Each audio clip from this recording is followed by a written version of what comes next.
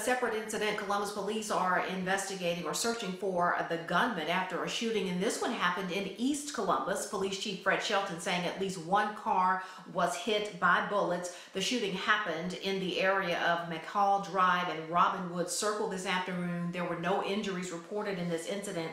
Chief Shelton says officers are searching for a white Ford Escort and a blue Chevy Malibu. If you have any information on this shooting, call Golden Triangle Crime Stoppers.